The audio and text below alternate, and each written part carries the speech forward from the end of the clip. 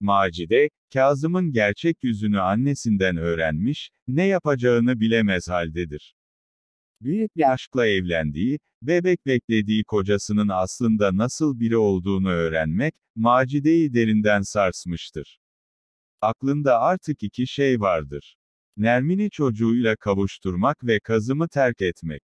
Ancak bunun için bir plan yapması, Kazım'ı etkisiz hale getirmesi gerekmektedir. Sonunda Nazlı ile el ele verip Kazım'ı hapse attıracak bir plan yapar.